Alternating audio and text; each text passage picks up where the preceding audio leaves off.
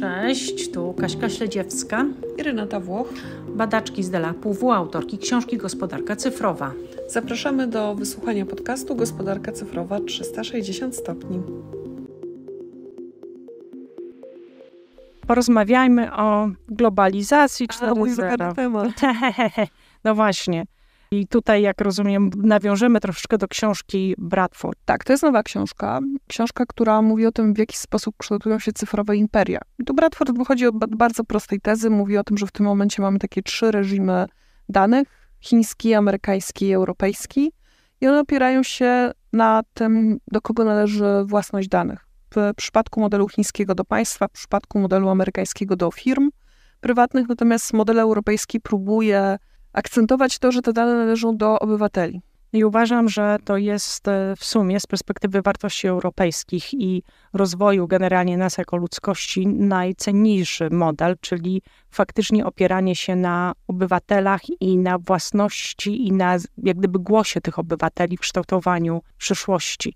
I uważam, że to jest też związane z tym, jakie my mamy największe wyzwania w procesie tej transformacji cyfrowej, ucyfrawiania wszystkiego biznesu, administracji państwowej, instytucji państwowych i tak mianowicie odpowiedzenia sobie na pytanie, gdzie jest człowiek i gdzie my chcemy być za te najbliższe 5, 10 czy 20 lat. Myślę, że jesteśmy w ciekawym momencie, momencie tak zwanego zwrotu regulacyjnego, kiedy po latach takiej wolnej amerykanki, kiedy nie było ruchów na rzecz regulacji internetu i działania wielkich korporacji technologicznych, państwa zaczynają coraz częściej mówić o cyfrowej suwerenności.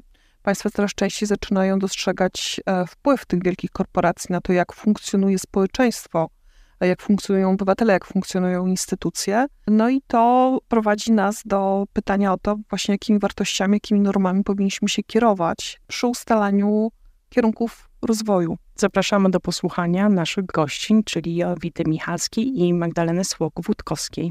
Dzień dobry. Przy mikrofonie Zuzanna Chońska, a to jest czwarty odcinek podcastu Gospodarka 360 stopni, realizowanego przez Digital Economy Lab na Uniwersytecie Warszawskim. Mam przyjemność powitać dzisiaj dwie ekspertki, panią Jowitę Michalską oraz profesor Magdalenę Słok-Wódkowską. Dzień dobry. Dzień dobry. Dzień dobry. To może na początek jeszcze kilka słów o moich gościniach. Jowita Michalska jest założycielką i prezeską Fundacji Digital University, zajmującą się edukacją w zakresie transformacji cyfrowej. Jest również prowadzącą podcastu Digitox, którego celem jest edukacja z zakresu kompetencji cyfrowych, a obecnie pełni również funkcję cyfrowej ambasadorki Unii Europejskiej. Natomiast profesor Sogłuskowska jest doktor habilitowaną, badaczką w Katedrze Prawa Europejskiego na Wydziale Prawa i Administracji Uniwersytetu Warszawskiego. Jest również e, analityczką w Delabie, wspomnianym już przed chwilą. Witam Was serdecznie jeszcze raz. Teraz już oficjalnie. Tak, teraz już oficjalnie, dokładnie. Porozmawiamy dzisiaj o globalizacji, szczególnie globalizacji w związku z rozwojem nowych technologii, e, czyli jak cyfryzacja zmienia procesy handlu międzynarodowego, procesy gospodarcze. Obecnie globalizacja napędzana jest głównie poprzez przepływ cyfrowych towarów, cyfrowych usług, a także przepływ danych. To jest różne od tego, co działo się powiedzmy w, poprzednim wieku. I w tym temacie wyróżnia się głównie trzech aktorów. Unię Europejską, Stany Zjednoczone oraz Chiny, które właśnie dominują pod kątem rozwoju technologicznego i rozwoju regulacji w tym zakresie. To może na początek opowiedzmy sobie na pytanie, jakie w ogóle relacje mają te trzy podmioty. Czy któryś z nich dominuje, czy mają równy poziom? I tu pytam tutaj zarówno z zakresu rozwoju regulacyjnego, jak i rozwoju technologii. Może pani Jowito, gdzie w tym wszystkim jest Unia Europejska? Ja może, powiem szczerze, nie jestem absolutnie ekspertką od regulacji, więc myślę, nie, że ten nie, obszar z dziką rozkoszą tak, zostawię wam. Oczywiście.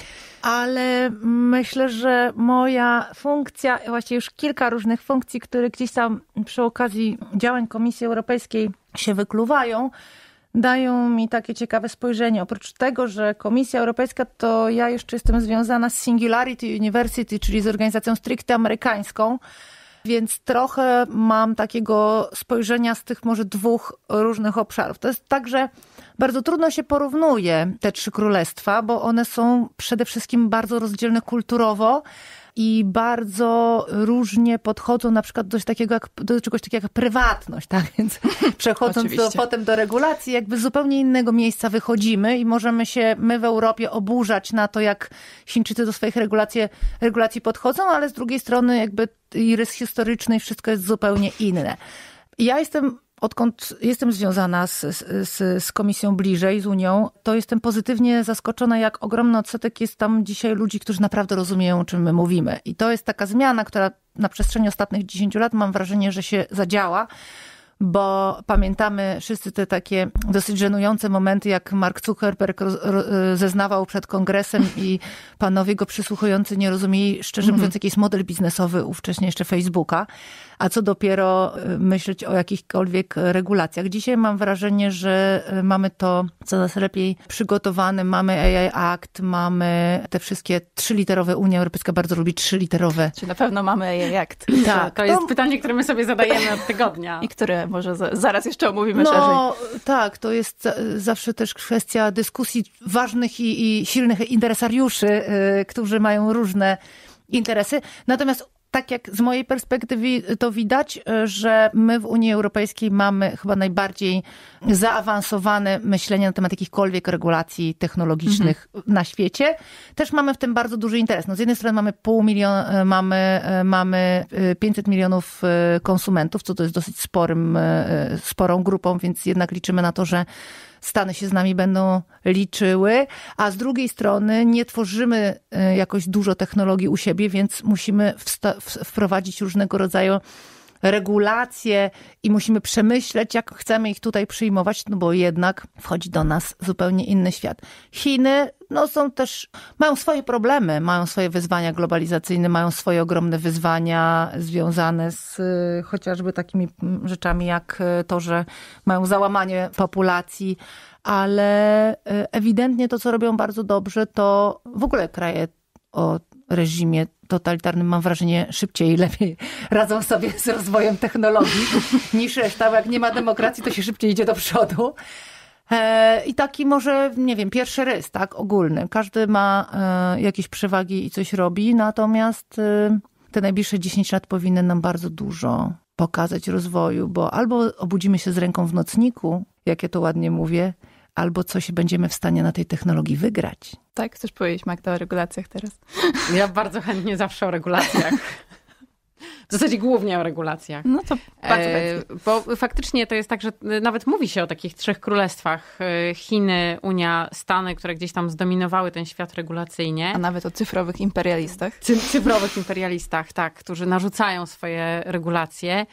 I wydaje mi się, że tam jest bardzo dużo różnych płaszczyzn, no, o których możemy rozmawiać. Bo z jednej strony mamy taką płaszczyznę tych regulacji wewnętrznych, mhm. E, czyli próby takiego znalezienia punktu równowagi pomiędzy właśnie jak regulować ważne wartości, które myślę, że nie są ważne tylko dla Unii, ale one gdzieś tam w Unii zostały podniesione bardzo wysoko, takich jak prywatność, ale też e, ochrona własności intelektualnej, tak. ale też ochrona przed dyskryminacją to, żeby właśnie te algorytmy nie były jednak biased, e, czyli nie, nie dyskryminowały to, żeby nie naruszyć jakichś innych wartości, które może w, w tym momencie nie przyszły mi do głowy. I na pewno, jeśli chodzi o Unię Europejską, to dla niej priorytetem jest y, jednak ochrona tych wartości. Mhm. I tak sobie myślę, że jeszcze pięć lat temu wydawało mi się, że jak po, poprzednią kadencję zaczynała Komisja Europejska, to wydawało mi się, że Unia próbuje znaleźć swoje miejsce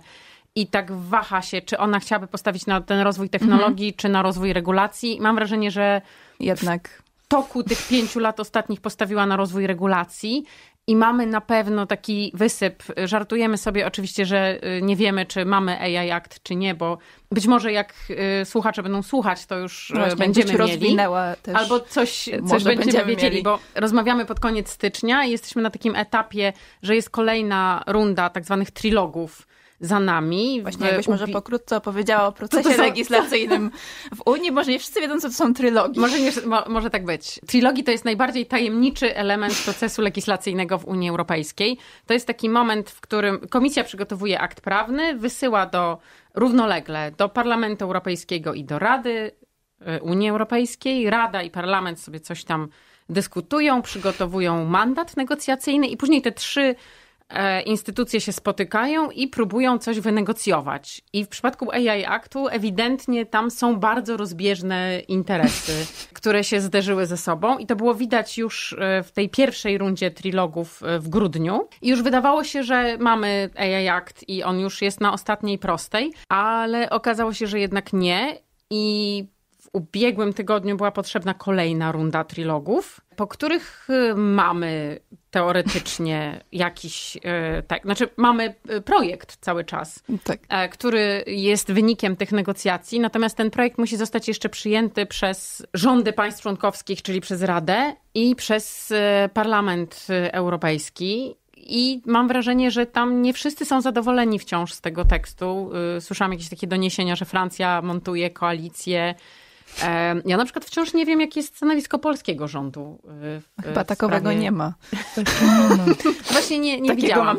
Nie widziałam żadnego, więc cały czas zadajemy sobie pytanie, czy faktycznie ten kompromisowy AI Act to jest ten akt, który wyjdzie. Ale AI Act to jest tylko jeden z elementów tego y, ogromnego pakietu legislacyjnego, no bo jednak w ubiegłym roku weszły w życie y, DSA, DMA, teraz tak. niedawno wszedł w życie Data Act, czyli Unia tak. bardzo postawiła na, na regulacje, na nałożenie różnego rodzaju kagańców e, na big techy. Mhm. E, I wydaje mi się, że gdzieś tam chyba powiedziała sobie, że skoro już nie mamy tych big techów unijnych, to może deregulujemy te ze Stanów Zjednoczonych i z Chin. Ale z drugiej strony ja tak obserwuję na przykład bardzo to, co się dzieje na zewnątrz, e, w sensie to, co się dzieje w, regula- w relacjach międzynarodowych mhm. E, i tam się dzieją bardzo ciekawe rzeczy, e, dlatego że na przykład na jesieni Stany Zjednoczone powiedziały, że zmieniają swoją koncepcję, jeśli chodzi o umowy handlowe, że nie będą już forsowały tak daleko idących przepisów pozwalających na deregulację przepływu danych, czyli będą troszeczkę mniej stawiały na całkowitą liberalizację y, przepływu danych i, y, co jest chyba jeszcze ważniejsze, e, zmieniają y, koncepcję w odniesieniu do regulowania w umowach handlowych przepisów dotyczących tajności kodów źródłowych. To było bardzo krytykowane okay. w Unii Europejskiej. Przyznam szczerze, że my z doktor Mazur przy, przyczyniłyśmy się do tej krytyki, bo same też napisałyśmy bardzo krytyczny artykuł na temat tych, Polecamy e, tych przepisów. Tak, oczywiście. I Stany Zjednoczone zmieniają troszeczkę podejście. Z, z, drugiej, z trzeciej strony w zasadzie e, Chiny też coraz więcej mają regulacji i też e, dopuszczają w coraz większym zakresie w stosunku, nie wiem, do sytuacji powiedzmy sprzed pięciu lat, mhm. takie e, przepisy dotyczące, no może nie tajności algorytmów, bo takich nigdy nie miały, albo liberalizacji danych, to też takich nigdy nie miały, ale jednak dopuszczają do pewnego stopnia przepisy dotyczące prywatności, że y, gdzieś tam przynajmniej ich partnerzy handlowi będą mieli, e, dopuszczają do pewnego stopnia też przepływ danych, bo w tym takiej flagowej umowie handlowej Chin, czyli RCEP-ie, takie przepisy się znajdują. Więc wydaje mi się, że gdzieś tam jest zbliżenie, ale jest też bardzo, bardzo duża potrzeba chyba jakichś takich regulacji globalnych. Mam wrażenie, że wysyp takich regulacji mhm inicjatyw globalnych zmierzających do regulowania na przykład sztucznej inteligencji jest Ale jest, jest w ogóle duży. możliwa taka ogólna regulacja globalna? Ja w nią nie wierzę, ale wydaje mi się, że przez najbliższe pięć lat będziemy o tym bardzo dużo dyskutować. Ja mam wrażenie, że to w ogóle przestaje być teraz śmieszne, bo zobaczcie, jest tak, że ja patrzę z perspektywy nieregulacyjnej, a z perspektywy konsumenckiej, tak? Mhm. Mamy generatywną sztuczną inteligencję, która nam się wylała e, bardzo do społeczeństwa na, na, e, na co dzień. Tak. Mamy kilka dosłownie firm, które i kapitałowo E, i intelektualnie absolutnie zdominowały cały świat. I to są w większości przypadków, przynajmniej te, które są u nas dostępne, to są firmy amerykańskie albo chińskie, mhm. czyli będące dla Europy dość dużym zagrożeniem, tak czy inaczej. Zerową świadomość społeczną, nawet wśród osób, które używają tego typu narzędzi i kompletnie nieuregulowany świat. I teraz zobaczcie, jak popatrzymy na to, oczywiście my jesteśmy na etapie, ja lubię mówić, e, taki, pokazywać takie porównanie, o którym sobie dyskutowaliśmy w, w zeszłym roku na EduTech Europe, na największej edukacyjnej konferencji e, Unii Europejskiej, że my jesteśmy trochę jak, jak e, powstały samochody i zaczęły jeździć, to dopiero jak zaczęły trochę jeździć, to się okazało, że można walnąć nosem w kierownicę i dlatego trzeba mieć pasy i że można się zderzyć na środku ulicy, dlatego trzeba mieć znaki drogowe. My jesteśmy jeszcze z, z całą technologią, mam wrażenie, przed pasami i przed próbowania. znakami drogowymi, mhm. aczkolwiek wypadki są już dosyć poważne. I teraz te wszystkie regulacje mają nas doprowadzić jeśli dobrze pójdą, przynajmniej częściowo do takiego momentu, że my będziemy beneficjentami technologii, a nie ich ofiarami. Bo ewidentnie moje zdanie jest dzisiaj takie, że w większości przypadków jesteśmy w jakiś sposób ofiarami. To, co się na przykład teraz dzieje z dyskusją o generatywnej sztucznej inteligencji, jak korzysta z danych, ze mhm. sprawą, e, którą wytoczył na przykład New York Times e, mhm. OpenAI-owi, no to to są kolejne przekraczenia. Zobaczcie, im dalej idziemy w las, tym kolejne obszary, które są święte wydawało się, dla nas są przekraczane, tak? Więc myślę, że akurat Unia Europejska jest, my jesteśmy w dosyć trudnej sytuacji o tyle, że my tego rozwoju technologii w Europie nie mamy. Mamy dosyć ciekawy zestaw startupów, być może coś się z tego mhm. wykluje. Na pewno nie mamy ani amerykańskiego, ani chińskiego poziomu finansowania, no. a wiadomo, że technologia bardzo dużo żre. Jak popatrzymy sobie na inwestycje Microsofta w OpenAI, to tam jest praktycznie kurek, który jest totalnie odkręcony i dlatego ta sztuczna inteligencja tak się dynamicznie rozwija. My tego w Europie nie mamy, nie mamy tych budżetów, mhm. więc Czyli mamy Będąc regulację rozsądną, powinnam wiedzieć o tym, że my raczej musimy ich wpuszczać na naszych zasadach. Mhm. To, co mi się podoba w Unii Europejskiej, że 99% dyskusji jest o warto, od strony wartości. To, co jest fajne, tak? Bo my jednak chronimy tu człowieka. I teraz y, byłam y, dosłownie dwa tygodnie temu na bardzo dużym briefingu w, y, w, w Brukseli, gdzie właściwie z każdym dyrektorem zajmującym się jakimś obszarem technologii mieliśmy indywidualne spotkania. To było ultra fajne. I oni rzeczywiście mówili, po pierwsze, dobrze bardzo pracują ze sobą, no bo jednak nie da się odłączyć danych od AI i od chipów. To są wszystko tematy równie mm -hmm. ważne. Więc po pierwsze, bardzo dobra współpraca na tym poziomie między nimi i trochę te regulacje fajnie na siebie zaczynają nachodzić, a po drugie taka otwarta, jakby otwarta dyskusja. Inaczej nas nie będzie. Inaczej wpuścimy tutaj amerykańsko-chiński mhm. biznes, mhm. który nas wyssie do końca, bo ma do tego fenomenalne narzędzia i ogromne przewagi, tak?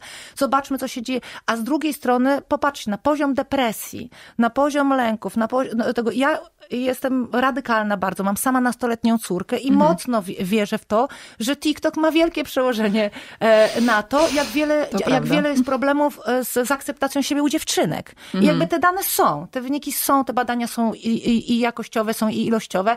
Gdzieś tam sobie oczywiście e, mamy różnych interesariuszy tych tematów, ale ewidentnie to trzeba uregulować. Ale to się bardzo trudno reguluje, dlatego że bardzo trudno jest znaleźć e, definicję.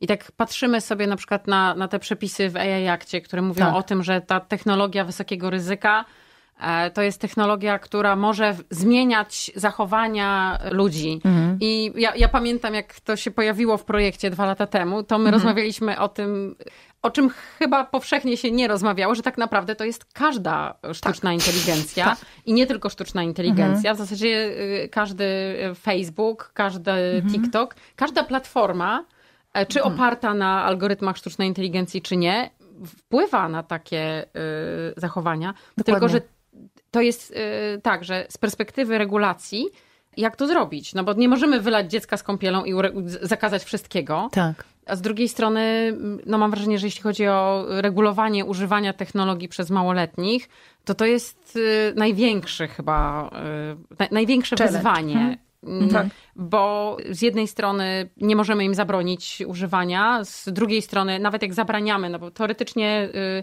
nikt nie powinien mieć konta na Facebooku przed 13 rokiem życia. Wydaje mi się, że to się nie sprawdza w realu.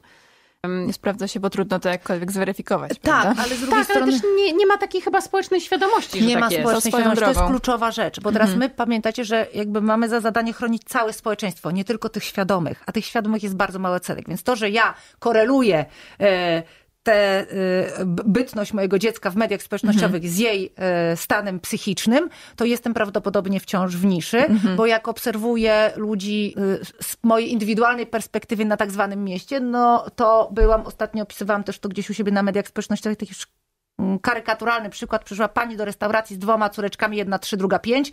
Rozstawiła dwa tablety, w jednym puściła koniki pełny, w drugim puściła tam coś innego i po prostu futrowała te dziewczynki jedzeniem. I to jest też nagminne, tak? I teraz w momencie, jest kiedy pamiętajmy o tym, że znakomita część społeczeństwa kompletnie nie koreluje tych rzeczy, to de facto musimy trochę ich chronić samych przed sobą, bo następne pokolenia będą wchodziły w rynek pracy, będą wchodziły w dorosłość, będą wchodziły w systemy ochrony zdrowia. I to jest y, ten, ten obszar. Mam wrażenie, że w ogóle my mamy mało świadomości takiej myślenia perspektywicznego, no bo w momencie, dzisiaj wszyscy mówią, sztuczna inteligencja nie zabierze ci pracy, co uważam za... za Zależy komu. No tak, właśnie. co uważam za e, no, taki overpromise, ładnie powiem to po polsku, dlatego że już mamy przykłady, kiedy to robi, a kolejne 15 lat tempa rozwoju technologii. Już dzisiaj praktycznie każdy dostawca e, AI stworzył copiloty, przynajmniej do współpracy. I teraz jak sobie myślimy, czy my mamy koncepcję, przynajmniej jej zalążek, że w okolicach 2050, tak bym powiedziała, być może nie dla wszystkich na świecie będzie praca, bo ta ucieczka do przodu przed technologią w którymś miejscu będzie miała swoje granice. Czy Universal Basic Income sprawdza się tylko na mikroskali? W naszym mikroświecie naukowym takie głosy się pojawiają, ale wydaje mi się, że w powszechnej świadomości nie. Natomiast y, też wydaje mi się, że wracając do tego naszego tematu, którym jest No właśnie, bo y, trochę globalizacja, Tak. to z technologii to się wszystko ze wszystkim łączy. To prawda. I, To i prawda. Od Znaczy tej globalizacji to można przejść do wszystkiego. To jest, y, to jest trochę tak, że my nie patrzymy na to, ale my też bardzo mało na przykład mówimy o o tym, w jaki sposób ta dominacja tych trzech e, dużych graczy, no bo powiedzmy, że technologicznie dominują Chiny i Stany, ale jednak Unia Europejska wydaje mi się, że dominuje regulacyjnie, Absolutnie. i używa tego naszego ulubionego Brussels Effect. No właśnie, bo jak to wpływa w sumie na regulacje wewnętrzne w Chinach czy w Stanach? Są, jest jakiś wpływ? Y, To znaczy, na pewno wpływa, bardzo ciekawie y, y, pokazuje to, jak wpływa RODO, bo z RODO mamy największe, najwięcej doświadczenia, Tak. bo ono po prostu już, Już funkcjonuje jest. kilka Mhm. lat. Trudno mi jest powiedzieć, jak wpływa DSA czy DMA, bo one dopiero Wejdą. zaczęły. Tak, no w zasadzie tak, tak, jesteśmy na wejdą. etapie definiowania, kto jest strażnikiem dostępu, albo kto jest y, bardzo dużą platformą, czy tam bardzo dużą przeglądarką i kłócenia się tych potencjalnych y, wlopów, y, Wlopów, strażników i tak dalej z komisją, czy oni są, czy nie są. Natomiast przy, w przypadku RODO to jest bardzo ciekawe, w jaki sposób RODO, czyli wewnętrzna regulacja, która zakazuje transferu danych osobowych za granicę, poza, czy, czy może raczej zakazuje, chyba że spełnia się określone warunki i w jaki sposób te określone warunki wpływają na to, jak funkcjonują inne państwa. E, To y, przykładem są te bardzo znane sprawy y, pana Schremsa, który regularnie pozywa y, komisję o to, że nielegalnie wysyła, znaczy pozwala na transfer danych do Stanów Zjednoczonych. Ale Stany Zjednoczone próbują się bronić, chociaż też y, przedsiębiorstwa przecież dostosowują swoje polityki zarządzania danymi. No muszą, jak działają na terenie No, Unii Europejskiej. Nie muszą, więc y, a jakby operacyjnie nie opłaca się ich dostosowywać tylko do rynku Unii Europejskiej. Tak. Ale też y, są takie badania, które pokazują, że te mniejsze państwa na świecie dostosowują swoje regulacje dotyczące ochrony danych do tego, żeby mogły zostać e, uznane przez e, Komisję Europejską za państwa, gdzie bezpiecznie można wysyłać e, dane osobowe. I to jest ten Brussels Effect chyba taki najbardziej spektakularny. Najbardziej w- widoczny. Najbardziej widoczny, dużo bardziej niż to, że faktycznie za przykładem Unii Europejskiej, która zaczęła mm, negocjować AI Act, zaczęły się pojawiać kolejne regulacje gdzieś indziej na świecie. Tak. No tak jak wytyczne Joe Bidena w Stanach Zjednoczonych, tak? No to Mm. nie jest No, jako taka regulacja, tak? No ale, to jest executive order, więc jednak jest no tak, to no jakiś tam, tam... system jest inny, tak? Tak. System prawny, więc... No, 4 miliardy ludzi w tym roku pójdą na wybory. Jeszcze zobaczymy, jak świat będzie wyglądał również od strony regulacji, jako konsekwencji to też tego postanowienia, jako kon- konsekwencji tych przeróżnych wyborów, które. I to jest element globalizacji. Jak bardzo dzisiaj wybory na Tajwanie mają wpływ na na przykład naszą codzienność technologiczną, tak? E, Globalizacja też ma ten wymiar, który się pojawił y, ostatnio wraz na przykład z y, voice cloningiem, tak? Czyli z tym, że dzisiaj możemy praktycznie dowolne treści tłumaczyć w czasie rzeczywistym na dowolne, na dowolne języki. Gdzie dzisiaj ktoś, kto nagrywa po hiszpańsku jakiś niszowy podcast, może go swoim głosem za praktycznie zero pieniędzy mieć nagrywanego po polsku, tak? I teraz zobaczcie, jak tutaj będzie potrzebny też e, cały nowy sektor regulacyjny w momencie, kiedy to się rozleje, a będzie to w przyszłym roku, prawda? Więc to nie jest tak, że my tak. mamy czas. Dzisiaj my nie mamy czasu. Ja rozmawiałam z pewnym wysokim urzędnikiem unijnym któregoś dnia i on powiedział, nasza praca stała się dużo bardziej skomplikowana. Mhm. Kiedyś, jak my się dowiadywaliśmy o czymś, że coś się dzieje na świecie, mieliśmy kilka dni tygodni, żeby się z tym zapoznać, zbriefować, mieć swoje zdanie. Dzisiaj Mamy kilka minut. Dzisiaj jest tak, że prawda, Trump coś napisał na Twitterze i teraz po prostu w ciągu pięciu minut cały Trzeba świat się musi odnieść. się do tego, do tego odnieść. Tak, to, no bo jeszcze kilka lat temu, kiedy Trump Twittera miał. Ale, no tak. ale y, to pokazuje też, że no jakby jesteśmy z gruntu na przegranej pozycji, bo... Ale my jako Unia jesteśmy na przegranej myślę, pozycji, czy my jako ludzie? My, my, myślę, że my jako ludzkość. My jako, jako ludzkość. Okay. My jako ludzkość. My jako Unia, tak jak tutaj obie mówicie, jesteśmy na i tak najlepszej naszej e, pozycji, ale głównie od tej strony regulacyjnej, że jako, bo, bo naszą słabością jest ten brak tej technologii, tak? Oraz Chiny i quantum, tak? Taki kolejny święty gral, bo AI jednak w miarę powoli nam zepsuje ten świat, a, a to jest coś, co jest dosyć zero-jedynkowe, prawda? W momencie, kiedy rzeczywiście ustabilizujemy komputery kwantowe na trochę większą skalę, to nagle się okazuje, że cyberbezpieczeństwo nie istnieje na świecie, prawda? I jak popatrzymy, widziałam, e, mieliśmy, gościliśmy na Master Syndromu z naszej konferencji dwa lata temu Kai Fu Lee, jednego mhm. z większych chińskich ekspertów od sztucznej inteligencji, który pokazywał, tak że Chiny mają ponad 3000 patentów w obszarze kwantum. Drugim krajem są Stany, które mają tam około 2000. No a Europa nie za dużo. Też jest y, sporo pracy nad tym i poszukiwane są startupy, które mają być doinwestowane i połączone, ale naszym y, wyzwaniem w Europie jest fragmentaryzacja. My mamy bardzo dużo małych krajów, które się niekoniecznie muszą, niekoniecznie y, widzą interes w dogadaniu się, tak? No tak, tak. A, a stanowimy wartość tylko jako, jako, jako całość. całość, bo wtedy jesteśmy tymi 500 milionami. Jeśli nas jest 20 milionów, 40 i tu 10, żaden porządny big tech się tym nie przejmie, prawda? Żaden hyperscaler e, w ogóle nie spojrzy w tę stronę. A z drugiej strony mam wrażenie, że Żunia czasami nie jest taka jeszcze dzisiaj popularna i nie do końca mamy świadomość, że już coś ciekawego uregulowała. Chociażby taka głupia rzecz, że mm, dzisiaj wszystkie wtyczki do smartfonów muszą być takie same. Tak? To jest regulacja unijna. Ktoś może powiedzieć, o znowu iPhone zmienił wtyczkę, a jednakowoż dzisiaj możemy się tymi wtyczkami zmienił, bo musi. wymieniać. To jest okej, okay. jak mówimy, ja mówimy, o, na Netflixie pojawiły się seriale europejskie i właśnie trochę europejskiej twórczości. I proszę, Netflix też inwestuje w lokalne rynki. No to było e, elementem, tak, umowy wpuszczenia Netflixa do Europy, mhm. co jest bardzo fajną robotą e, Unii Europejskiej. Myślę, że dla nas jest bardzo ważne, żeby dużo młodych, mądrych ludzi, którzy rozumieją technologię, jednak w te struktury szło i dalej, dalej to rozwijało, bo tak naprawdę średnia wieku tych osób decyzyjnych dzisiaj w komisji to jest 50-60 lat, nie? To i tak jeszcze nie jest najgorzej. W porównaniu ze Stanami. Tak. Tak, tak ale i tak, tak chyba tak, potrzebujemy tak. jednak młodszych. Amerykanie też tak naprawdę, to też jest ciekawy ruch, że oni podpatrują trochę to, co robi Unia, żeby... Zdecydowanie. Tak, żeby wejść swoje, ale dlaczego oni te regulacje muszą? Bo nie są już krajem dominującym, prawda? Bo już Chiny w różnych obszarach wyszły na prowadzenie, stał się to mhm. dla nich niebezpieczne, więc trochę widzimy ten upadek powolny tego y, gigantycznego, największego na świecie imperium, które nie musiało się regulować, bo dominowało we wszystkim. Nie?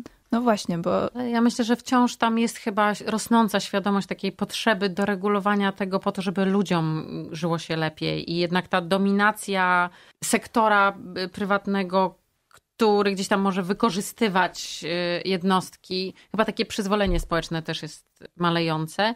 Nie wiem, jak to jest w Chinach. Mam wrażenie, że tam nie. Tam jest trudniej chyba się dowiedzieć, jak to jest. Tam jest chyba trudniej się dowiedzieć, ale też y, jakby szokujące dla mnie jest trochę to, jak dużo mm, jest nowych regulacji y, chińskich w zakresie właśnie na przykład tak, ochrony danych. Tylko bardziej fragmentarycznych też często, nie taki ogólny jajak, tak. tylko jakieś tam pojedyncze regulacje mhm. konkretne. Jakieś jakichś ba bardziej precyzyjnych y, rzeczy, ale ewidentnie jest tak, że tam też występuje ta potrzeba do regulowania tego. Mhm. Bo jednak widzimy, że to może nie jest tak, że ten, ta linia podziału przebiega pomiędzy Chinami, Stanami i Unią, a ona może bardziej przebiega pomiędzy dostarczycielami tych technologii mhm. i konsumentami tych technologii, czyli nami. Tak. No też jest, y, y, ludźmi. myślę, że Chiny mają też swoją, swoją piętę achillesową, czyli swoją generację Z, która się nie zachowuje tak jak wszyscy do Tak jak tej pory. powinna. Tak jak powinna, no, są ofiarami swojej, kon- y, swojego procesu kontroli urodzeń. Y, Też mają swoje wyzwania i myślę, że stąd to wynika nie z jakiejś dobrej woli rządu, ale z, z, z po prostu z oddolnych potrzeb. Tu, tu, tu, tu się zupełnie zgadzam. Bardzo ciekawie będzie, jakbyśmy się spotkały za 10 lat, żeby sobie też czas omówić, Możemy bo uważam, że się tę rozmowę za 10 ogrom lat. rzeczy, ogrom rzeczy zadzieje w tym tak. obszarze. Ja sama powiem wam szczerze, że no, zajmuję się technologią 10 lat i 10 lat temu, czy 8 lat temu miałam takie myślenie, Boże, my w Europie to tylko regulujemy, a może wzięlibyśmy się za robotę i naprawdę coś fajnego stworzyli. E, I że regulacje, takie, te, takie było też generalne big, wśród big techów, że regulacje nas ograniczają, ograniczają nam rozwój. Dzisiaj mam dokładnie odwrotne zdanie. Dzisiaj uważam, że wraz z rozwojem natychmiastowo powinny następować regulacje, bo człowiek w tym wszystkim się zagubił, a na koniec chcielibyśmy, żeby to było jednak w służbie człowieka, a dzisiaj wcale to tak nie wygląda. A właśnie, bo co do regulacji big techów, to wydawałoby się logiczne, że big techy nie chcą regulacji, mam tu na myśli Stany Zjednoczone, a jednak lobbują za tym. Dlaczego? Teoretycznie. No właśnie, teoretycznie czy Istnieje praktycznie. podejrzenie, że jednak nie chcą wpuścić nowych big techów. Dlatego chcą zablokować inne. Tak. I istnieje taka teoria, że na przykład dla tego obecnej sztucznej, y, znaczy, no bo y, oczywiście mamy świadomość tego, że OpenAI chyba jest takim najbardziej y, dobrym, dobrym przykładem tego, że oni lobbują za tym, żeby uregulować sztuczną inteligencję, ale oni na przykład już nakarmili swój algorytm. Już im Więc wystarczy? Na pewno nie, ale, No właśnie. Na, na obecnym e, etapie. ale wydaje mi się, że im więcej będzie regulacji, które na przykład stworzą ograniczenia co do no, dosyć nieograniczonego korzystania z cudzej Własności. własności intelektualnej, tym y, trudniej będzie stworzyć konkurencję dla tych y, obecnych dużych modeli generatywnych, no bo one jednak na czymś muszą się uczyć. No i uczą się na cudzej własności intelektualnej. No tak, no bo Na ile na przykład my sobie zdajemy sprawę z tego, że wkładając rzeczy do czata GPT, e, karmimy go swoją własnością intelektualną albo cudzą własnością intelektualną. Nie no, E, oni twierdzą, że wcale nie, że tych danych nie, nie Ja mam wrażenie, że świadomość jest używają. bardzo niska. To znaczy wiedzieć, a, mieć, a być świadomym to są też dwie różne rzeczy. To, że to my gdzieś wszyscy przemycamy to do przestrzeni publicznej, są artykuły, są informacje, to jest jedna, a drugie samemu rozumieć, że jak ja coś robię z tym, to oddaję tę, tę własność, to co innego. Też z drugiej strony ta nierówność sił. No bo z drugiej strony big techy tak naprawdę oficjalnie kradną dzisiaj i specjalnie nie są tym przejęte. Ale to, to jest kwestia tego, to, że zawsze pan versus jakiś niewolnik miał zawsze taką przewagę, że robił co chciał. I trochę jesteśmy w tym samym momencie, tylko to się ładniej nazywa i ładniej wygląda. Dokładnie w tym momencie. I teraz e, jest tak, że ja widzę rozbieżność między tą, tym, co chociażby sam Altman mówi, a tym, jak potem hordy lobbystów, e, których mają znacznie więcej niż cały rząd amerykański, e, co robi. Także wygodnie i PR-owo ważne jest powiedzieć, regulujcie nas, chcemy tego, chcemy się otworzyć i tak dalej, ale potem robienie w przestrzeni praktycznej czegoś dokładnie odwrotnego i to mówią wszyscy. Zuckerberg też non-stop mówi o tym, że trzeba by było go, że chcieli, że chciałby, żeby ich uregulować.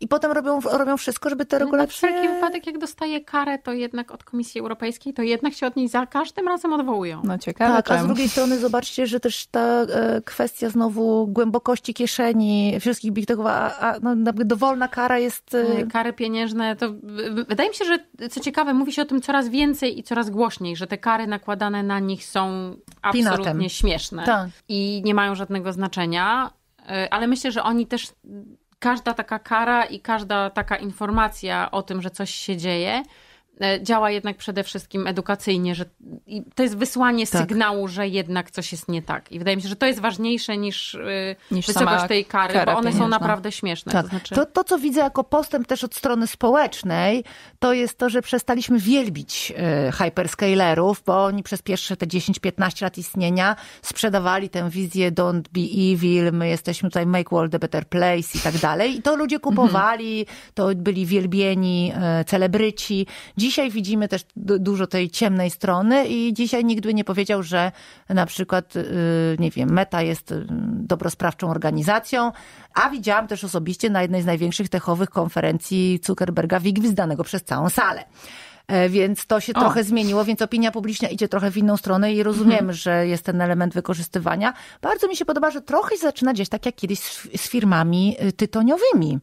Że tak, że y, były zbiorowe oskarżenia i trochę się zaczyna to dziać. Tak w niektórych krajach europejskich pojawiają się zbiorowe pozwy, właśnie jeśli chodzi o tę sferę depresyjno-emocjonalną, y, gdzie rzeczywiście można powiedzieć, że celowo jest to robione, tak? Bo z jednej strony mamy tego przysłowiowego trzynastolatka niewinnego, który siedzi tam cały dzień, a z drugiej strony mamy hordę dobrze płatnych e, na full-time jobie psychologów, którzy wszystko robią, żeby tego nastolatka uzależnić od tej platformy. No jest to nieetyczne zachowanie. Ale też nie tylko nastolatka, również... I dorosłego, tak. Absolutnie, No, 40 oczywiście, plus to tak. jest e, również wdzięczna grupa uzależnionych. Mam wrażenie, że każda grupa w Każda tej chwili grupa, jest wdzięczna. tak. Mam wrażenie, że takim powracającym motywem tego, tej naszej rozmowy jest to, że nic nam, żadne regulacje nam nie pomogą, jeżeli nie będziemy samoświadomi. I To prawda. Ta, y, bardzo mi się podoba ta metafora z y, tytoniowa, bo tam też tak naprawdę regulacje i ograniczenia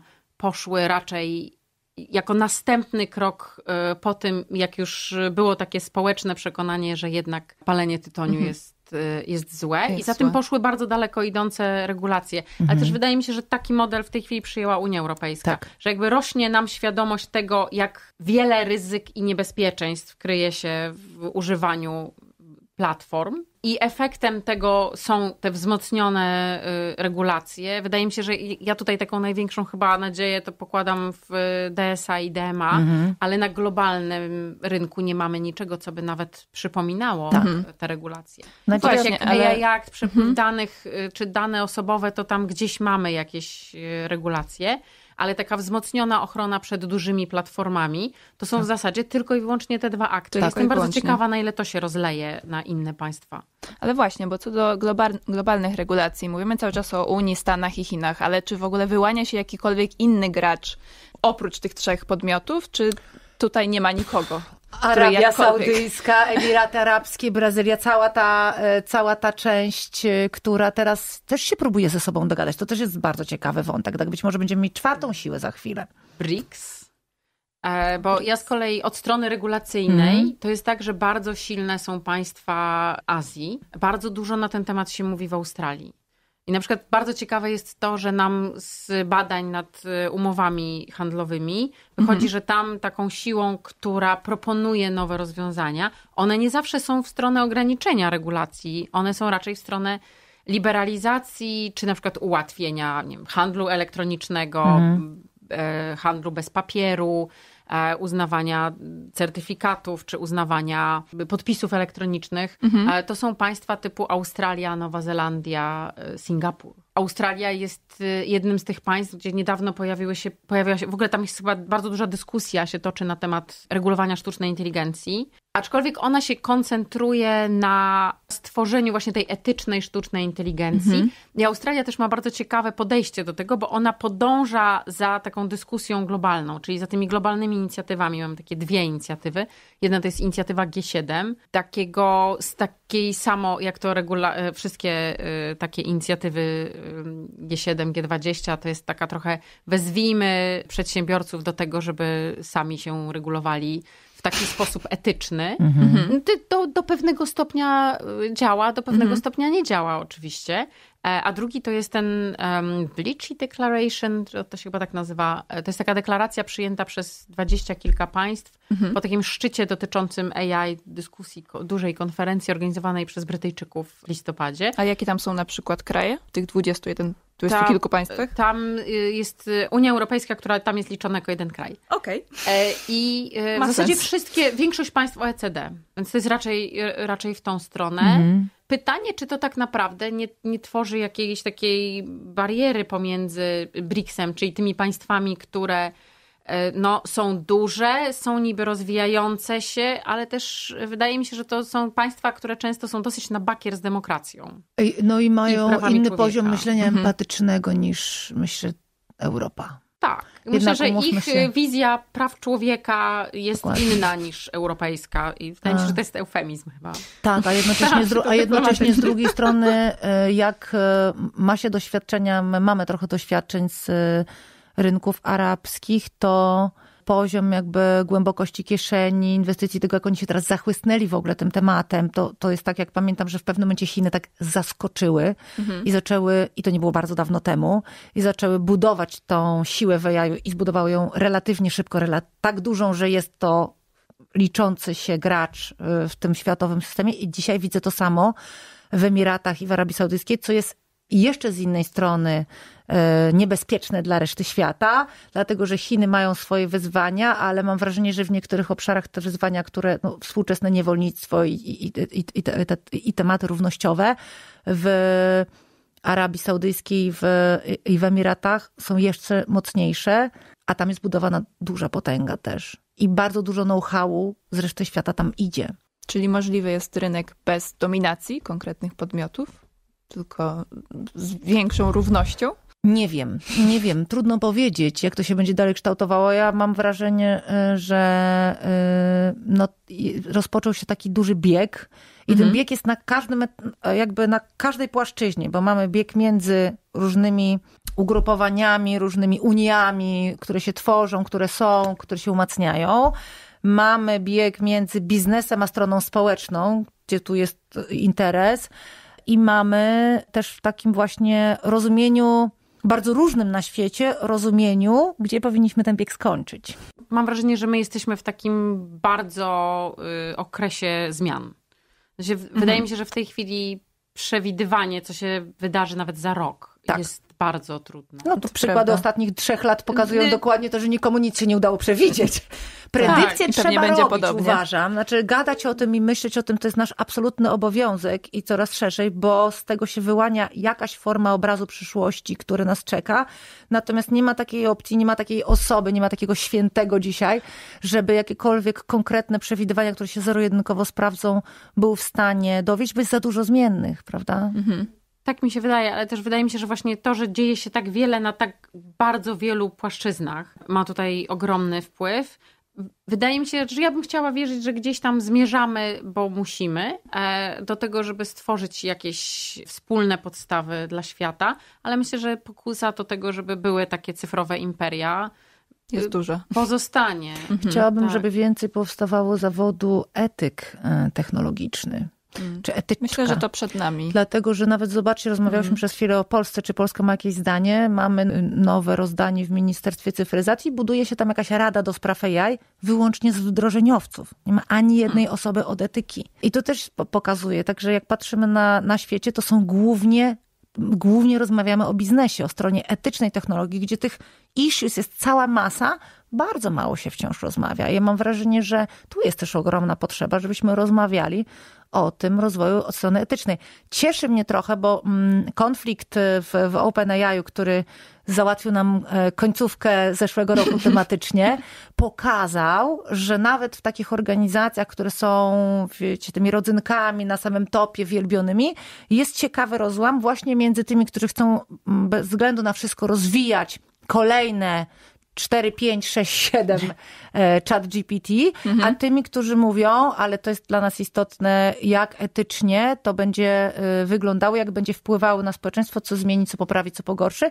I myślę, że, na, e, że Stanford jest takim miejscem. Uczelnie są takim miejscem, więc was nadzieja, bo Stanford jest takim miejscem, gdzie się bardzo dużo tworzy tych etycznych dyskusji, gdzie sporo osób, które jednocześnie są ultra e, utalentowane, umówmy się, te talenty są na wagę złota mhm. i mają tego typu myślenie. 10 lat temu było tego mniej, bo większość parła do przodu o jak najszybszy rozwój. Tylko od strony gospodarki i technologii, tak, a nie od strony tak, wartości. Taką wkrętkę małą zrobię, bo też miałam dużo myślenia na ten temat. W zeszłym roku y, występowałam na jakiejś konferencji w panelu dyskusyjnym z takim ciekawym człowiekiem, który jest y, naukowcem, twórcą e, pierwszej sztucznej macicy która jest w stanie tam o 30 paru tygodni już w tej chwili do, donosić ciążę, więc y, mhm. który apelował podczas tego panelu, że nie powinno być żadnej regulacji, żadnych regulacji w tym obszarze, bo inaczej, bo, bo tylko w ten sposób on jest w stanie robić development y, tego, tak, że, i że to, że może robić eksperymenty tylko na płodach tam do drugiego tygodnia, bodajże nie pamiętam, że bardzo, to jest bardzo ograniczające. To go straszliwie ogranicza. No. I to był szok. Ja byłam jeszcze z jakąś tam taką Amerykanką ciekawą w tym panelu i my przewracałyśmy przez te 40 minut cały czas oczami, ale nadal w tej przestrzeni ludzi utalentowanych w techu jest cała masa takiego myślenia. Bo ja myślę, że w ogóle jest masa takiego myślenia, dlatego że ca cały czas mam wrażenie, że takim leitmotivem jest to, w jaki sposób my uczymy o technologiach, pokazujemy technologie. My cały czas, wydaje mi się, że to, czego nam brakuje, to jest świadomość tego, że te technologie są wszędzie i one będą w każdej regulacji, w każdej dziedzinie, w każdym obszarze i nie możemy ich oddzielić, nie możemy myśleć osobno o edukacji True. Y, w zakresie etyki czy, czy edukacji społecznej bez oderwania od technologii. Mhm. Tak samo jak nie możemy myśleć o regulowaniu jakiejkolwiek dziedziny gospodarki bez myślenia o, mhm. e, o technologii, no bo my w tej chwili w zasadzie tą technologię znajdziemy w prawie pracy, prawie cywilnym y, do pisania umów i czy to jest etyczne, czy to nie jest etyczne, czy to weźmie pod uwagę e, medycynie. W medycynie no, bardzo. No, po prostu wszędzie. Y, Biotechnologii. Tak, ale i, i jakby w, w, każdej, w każdej transakcji będzie ten element technologii. Nie jesteśmy w stanie tego regulować wszystkiego, tak. bo regulacje nigdy nie nadążają za, za technologią, więc jedynie możemy edukować, możemy zmieniać świadomość, która też wpłynie, myślę, i na takie globalne regulacje, i na regulacje w ogóle. Mm. To jest bardzo ciekawa dyskusja, ale niestety czas dobiega końca. A mam dla Was ostatnie pytanie, dosyć hipotetyczne, trochę odbiegające od tego, co teraz mówiłyście, tylko wracając do tego, co mówiłyśmy wcześniej. Czy paradoksalnie rozwój sztucznej inteligencji może pomóc w zakończeniu cyfrowego imperializmu? Bo mówi się, że AI może być takim narzędziem demokratyzującym, no bo stwarza dużo różnych możliwości, więc czy może zakończyć cyfrowy imperializm, pomóc w tym? To jest bardzo dobre pytanie. Myślę, że ja nie potrafię na nie odpowiedzieć absolutnie. Na pewno to, co jest ciekawe, to że dzisiaj właściwie przeciętny człowiek, który zapłaci 20 dolarów miesięcznie, ma dokładnie ten sam to samo narzędzie, co gigantyczny, y, prawda, przedsiębiorca, wielka firma, to jest może pewien Te, element Teoretycznie tak, ale to, co go będzie ograniczać, to są kompetencje. Kompetencje. Mhm. I teraz jak zobaczymy, ja jestem jednak ekspertką od edukacji, ale słyszałam, że już to nagrywaliście, tak, ostatni odcinek. To, to tu się znowu kotwiczymy w tym temacie, prawda? Mhm. Czy poziom edukacji, czy edukacja dostarczy nam kompetencji, które będą nam pozwalały w stanie wykorzystywać te super dostępne i bardzo tanie i o ogromnym potencjale narzędzia, które ten imperializm zakończą. Mhm. Ja, ja jestem raczej sceptyczna niż pełna optymizmu, bo ja mam wrażenie, że czy bałabym się tego, że to raczej ten imperializm pogłębi. Jeszcze pogłębi. Mm. Tak, dlatego że y, no, y, mówi się, aczkolwiek wydaje mi się, że mówi się w sumie bardzo niewiele o tym, że mamy coś takiego jak digital divide.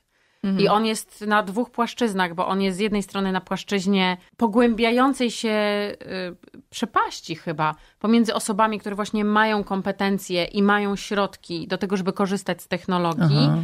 I osobom, które korzystają biernie, bo, bo korzystają, ale właśnie padają ofiarą tych technologii w państwach, mhm. ale jednocześnie też wydaje mi się, że jest coraz większa przepaść pomiędzy liderami, czyli państwami jednak bogatej północy, e, a tymi państwami biednymi, gdzie te 20 dolarów na czata GPT-4 może jest, się okazać tak. barierą nie do przejścia. Tak. W związku z tym ci ludzie nie będą korzystali z tych technologii i jeszcze bardziej będą pozostawali w tyle, więc to jeszcze jest bardziej to, czego... nierówności będą się pogłębiać. I jeszcze bardziej nierówności będą się pogłębiać. Tak, tak. Y, to, to jakoś nie jest optymistyczne. To takie negatywne zakończenie. Ale może im bardziej będziemy tego świadomi, tym bardziej będziemy mieli możliwość poszukiwania jakichś narzędzi, które by to zmieniły. OECD mhm. przygotowało takie scenariusze przyszłości edukacji, dosyć interesujące co się właśnie będzie działo, takie 2040-2050, co umożliwi technologia? No i to jest właśnie dobre pytanie, e, czy w tym kierunku pójdziemy, bo z jednej strony rozwój technologii mocno umożliwia demokratyzację edukacji. Pamiętajmy, że dzisiaj mamy też całą Afrykę, gdzie edukacji prawie w ogóle nie ma. I, I to też jest e, coś, element do wyrównania, prawda? Obszar do wyrównania. E, no, pamiętamy eksperymenty profesora Sugata Mitra z Indii, który wstawiał w ścianę slumsów komputery wyłącznie po angielsku i jeszcze zabezpieczone okazało się, że dzieci świetnie sobie z tym radziły już po tygodniu i tych eksperymentów jest dosyć sporo, więc jest jakieś takie małe światełko w tym, żeby pozytywnie zakończyć, tak. że samo udostępnienie tej technologii spowoduje, że jednak ludzie poprzez próbkowanie, no mówmy się, jeden mhm. chodził na zajęcia z promptingu, drugi nie, ale był bardziej zacietrzewiony, żeby tak. otrzymać i otrzymuje na końcu lepsze odpowiedzi. Nie? Ta jednak technologia używa naszego języka, więc miejmy nadzieję, że po prostu wystarczy ją dostarczyć nie? i może zdjąć tą barierę 20 mm. dolarów. Tutaj może sam Altman troszkę tak. się w lepszym świetle pokazać, bo też ostatnio nie jest jakoś dobrze widziany. No może na tym zakończmy. Bardzo Wam dziękuję. Dziękuję bardzo. Dziękuję bardzo. A to był podcast Gospodarka 360 stopni.